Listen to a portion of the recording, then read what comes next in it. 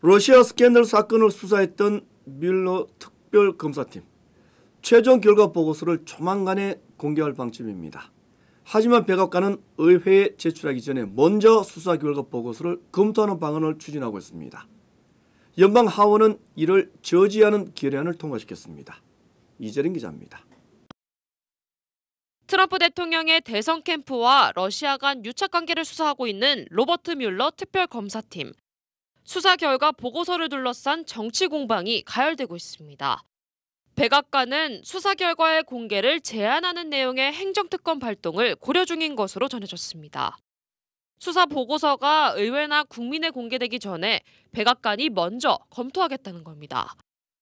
국가 기밀 보호 등의 이유로 공개를 제한할 수도 있다는 주장입니다. 이에 대해 민주당은 강하게 맞서고 있습니다. 민주당이 장악하고 있는 연방 하원은 오늘 우선 결의안을 통과시켰습니다.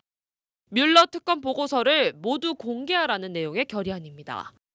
백악관이 행정특권을 사용하면 민주당은 소송도 불사할 것이라고 반박하고 있습니다. SBS 이재린입니다.